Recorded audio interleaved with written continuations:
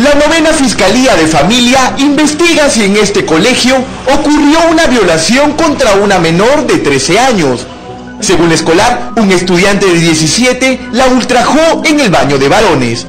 La víctima manifestó que el adolescente de quinto de secundaria la jaló al interior del baño donde bajo amenazas de atentar contra su familia y amigos le bajó el pantalón. El resultado del médico legista confirmó la denuncia. La chica tenía defloración antigua y recientes signos de actos contra natura. Ante la evidencia, la menor aseguró que fue violada en varias oportunidades en el colegio Tupac Amaru. El denunciado negó haberla violado, dijo que mantuvieron relaciones consentidas. Según el adolescente, la denuncia de la menor es por venganza, pues recién se enteró que su actual pareja tiene ocho meses de embarazo.